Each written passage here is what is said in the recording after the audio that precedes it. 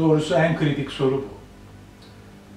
Burun tıkanıklığı tedavisinde başarı kesinlikle ve kesinlikle burun tıkanıklığının gerçek sebebinin saptanması ve onun ortadan kaldırılmasıyla elde edilebilir. Çok kabaca biraz önce grupladığım gibi burun tıkanıklığına yol açan değişik sebepler var. Bu sebeplerden biri, ikisi, bazen üçü bir arada olabilir. Bunlardan sadece birisini görüp diğerlerini atlamak halinde hastanın burun tıkanıklığı çözülemeyebilir.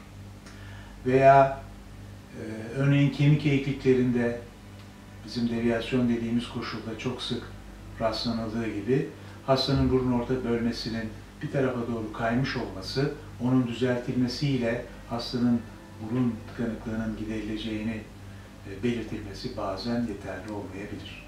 Aynı hastada konka şişmesi de sorun olabilir. Veya eğer endoskopla hastanın burnunun içine bakılmamışsa sinüslerin burun içerisine açılan kanallarının tıkanıklığına bağlı burun tıkanıklığı sebebi atlanmış olduğu için tedavi yeterli olmayacaktır. Tekrarlamak gerekirse hastanın burun içinin ayrıntılı bir endoskopik muayenesi burun tıkanıklığının nerede olduğunu saptamak adına çok önemli bir muayene yöntemidir.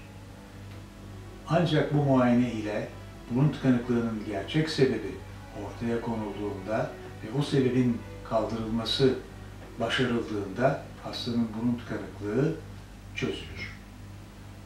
Bir başka sebebe doğru yönlenip ana sebebin ihmal edilmesi halinde hastanın burun tıkanıklığı sadece geçici olarak tedavi edilmiş olur. Halk arasında da sıkça rastladığımız gibi bir burun tıkanıklığı ameliyatından sonra burun tıkanıklığının tekrarlamasının sebebi hemen daima sebebin doğru bulunup ortadan kaldırılamayışıyla ilgili.